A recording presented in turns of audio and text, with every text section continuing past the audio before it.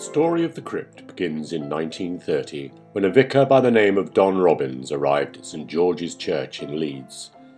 He quickly became aware of the large number of homeless and vulnerable people in the area and so cleared the crypt beneath the church in order to set up a soup kitchen offering food and shelter to all those in need.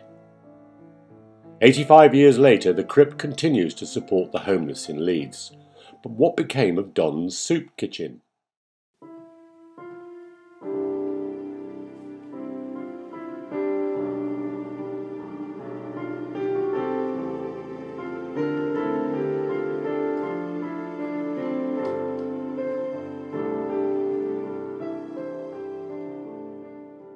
2010, the Crypt celebrated its 80th anniversary by founding Nurture, a social enterprise that aims to train its customers in outside catering. Head chef David Pilling explains what Nurture is and what its role is within the Crypt. I was employed by the Crypt to run a small social enterprise. Uh, the idea being that we could train in engagement with um, homeless, uh, vulnerable people at Leeds Um, since then, it's, it's grown into a catering company. We'll do uh, weddings, funerals, christenings, any event that anybody wants really. We also do uh, food for the vulnerable Leeds and that is our primary objective really. Last year we did about 46,000 meals in the crypt itself in the Assisi Cafe um, and that's just a way of feeding the guys but also we use it as a sort of recruitment tool as well. We get we recruit quite a lot of guys out and, and ladies out of the out of the um, the Assisi Cafe and uh, and take them forward. And it's it's very much a process of um, of moving people out of the current situation, whether that's an addiction issue, uh, offender issue, or just basically you know the homeless and out of work, long term out of work, or they might have mental health issues, and it's just a way of bringing them into into the fold and showing them they, they can move on in their lives really. We take them out of the cafe, we bring them into the kitchen, we give them some basic food hygiene training, um, and then we put them through what's called the, the Nurture Diploma, which is a, a set workbook. But because we call the reason we call Nurture is it's a process of nurturing people. It's not necessarily, training, but nurturing them in, in a way everybody's different, so we have some people with some severe learning difficulties that learn in different ways to other people, and it's just managing, judging that and deciding that's how that's how it is. We tend to employ people who possibly otherwise unemployable by certain other organisations. 12 months after we started Nurture, we, then also went into um, into the prisons, particularly Askham Grange Ladies Prison in York. And we recruit there ladies that want to move forward in lives, want to get on with, with whatever they want to do really. Um, we've got a lady at the moment who's working in Anglesey, in a hotel in Anglesey. I've got a lady that's gone to work in Manchester. Um, I've got three or four ladies that work in the cafes already as well. And others that have just gone back all around the country and uh, get back in with the family the reward of getting somebody and seeing them in, in probably one of the lowest states in their lives and seeing them blossom and grow to being a, a really useful member of society is, is just it's just an amazing reward. It's an amazing, you know, thing to see and grow. And, and when you see that happening and they come and thank you and you think, you know, that's that's it. That's what it's all about. We asked Chris Field, CEO of the Crypt, why Nurture was set up what services does it offer? And why is it important that it survives? Nurture was an idea that came from a question regarding how do we fill time when men are coming out of addiction. And the one thing we do down at the crypt, better than anybody else in Leeds, is feed people. We feed many, many people through our uh, restaurant at lunchtime and also in the centre at St George's Church.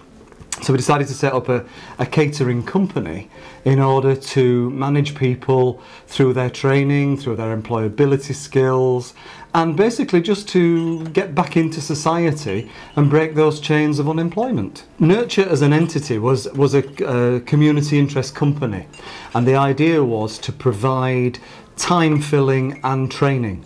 The thing about the training is it became bigger than we ever expected and it became more successful than we ever expected. And within that, we devised our own diploma, uh, which is now recognised by Job Centre Plus. Guys can actually work their way through that. And coming from a catering background myself, I looked at the diploma and said, would I employ someone who had passed all these things in the diploma? And yes, I would. So the, the place it fills is helping us provide food for the homeless. It fills important time, which could be filled with other things. And it also creates a, a, a belief in someone's own possibility and employability. We've not necessarily uh, invested loads and loads of money in it. What we have done is reinvested the, the profits back into it as a true CIC should. So it's never really cost the charity an awful lot of money. The guys themselves have funded their own creativity and their own ability to work. This year, the Crypt is celebrating its 85th anniversary. It is clear that the Crypt and Nurture are a very successful social enterprise, but this is not the whole story. The best people to tell us about the importance of the Crypt and Nurture are its customers, whose lives have been changed for the better. We asked a few of them how they came to be at the Crypt, what they did before the Crypt, what they're doing now, and what helped them most to get back on track. Been unemployed for a while, um, just completely bored at home um, on disability benefits, so just going slightly crazy. So contacted a place called Remploy. They put me in touch with their advisor um, and went for the option I've got to get back into work. And they mentioned St George's Crypt. I said, oh, perfect, work in the kitchen, be busy. And it's uh, something I've um, been doing for a few months now. I was with Nurture when I was in prison So once I was released from prison, um, I came back home to Anglesey. I started selling drugs when I was younger and then my mum found out and she kicked me out so I was homeless for a while.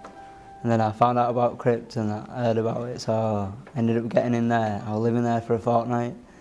They got me a flat, they, they helped me with everything for my flat, they, they really looked after me. And that's, that's when I decided to give back and start volunteering at Crypt. First started at the Crypt, I think, just over four and a half years ago now. I started as a volunteer. I was um, on ROTL from a local prison. split up with my partner for quite a long time. Uh, literally had nowhere else to go. Um, I knew about the crypt from previous, from being a teenager. Um, so I knew the, the help and the support and the services I needed, the crypt would help me with. I started the crypt um, from a program called iGen, which is um, a ready for work program that's based in town and what it is is it's to help young people find work. Run the kitchen and the bar manager. I worked in the army 2008 to 2012. Done window cleaning around, I had my own window cleaning. Um, I've done warehouse work. Uh, I used to be a labourer for a plasterer. Done property maintenance. I worked in a few places, at hotels, restaurants, um, of course in the kitchen. Uh, that's my trade and uh, passion. Started off in hotels as a youngster. That's where I learnt my trade. And then uh, fell into pubs through carveries really. Now I'm, I'm a sort of sous chef here at the hotel. Now I'm doing events with them, um, do- doing a diploma. Running the kitchen in the Crypt. I'm currently a head chef. Um, I was at a place in Pudsey and my owners have just moved me to a new investment in Hull. I'm part-time employed at Sa- Sainsbury's in the bakery counter. Because I'm only doing part-time there, uh, I thought I'd continue volunteering here for the, to keep myself busy.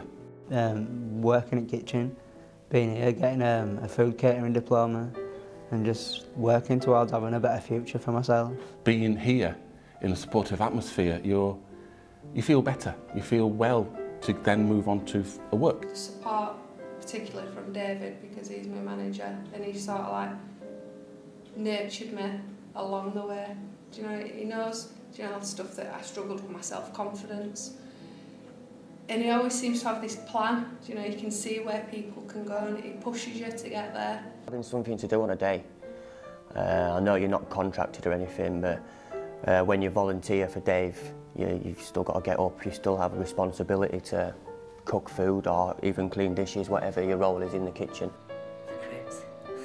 The Crypt helped me get back on track. It was, it was them that made me, me see that I didn't have to, I didn't have to be somebody that people walked all over, and they gave me the chance to be me, and, and let me be myself again and find myself again. The crypt, it's, it's just a great place. No matter what background, anything, it's just, it's there to help everyone. It's just supportive and it's just, there's people that's always there for you.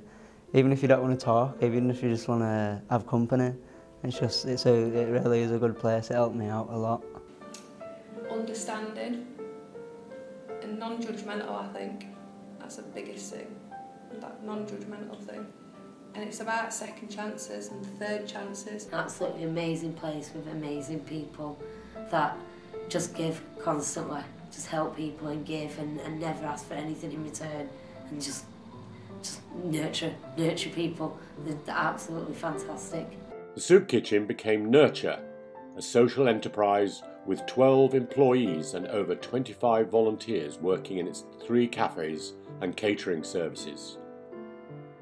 The Bishop of Leeds, Nick Baines, has used the outside catering service of Nurture ever since it started. We asked him why he chose to use this service. What does he think of the quality of food he's getting, and why, in his opinion, Nurture should be supported by the people of Leeds? Well, it's very easy, isn't it, to complain about people who have offended, um, who have broken the rules in society. But how do you offer a positive way, a positive way back? Um, and it seems to me that Nurture offers um, some younger people really a very effective way of um, getting back and making a contribution. And we've been really, really pleased with the service we get. We like having these guys around. I, I think Nurture is probably unique in the service it offers with the clientele that it works with and in the way they engage uh, with people like us. So, you know, I think it's something that deserves to grow. I think, um, I hope that there'll be a wider clientele in Leeds that would provide the opportunity for this sort of employment and service. Um, I hope it will grow and um, I hope other people will come to use uh, Nurture as we have done as well. Nurture is like a family in the kitchen, where the more experienced nurture and help the new volunteers. The money that comes from catering goes back to Nurture to train more volunteers and employ more people. But perhaps even more important than its economic success, Nurture's most important achievement remains in the way it supports, guides, and cares for those who need it the most.